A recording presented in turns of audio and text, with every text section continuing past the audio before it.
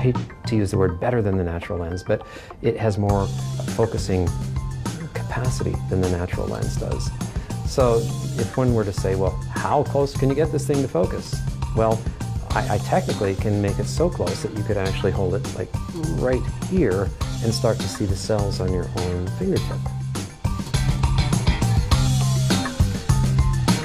It means that um, we could literally turn the lens into a Bluetooth uh, that would uh, take the place of your computer screen.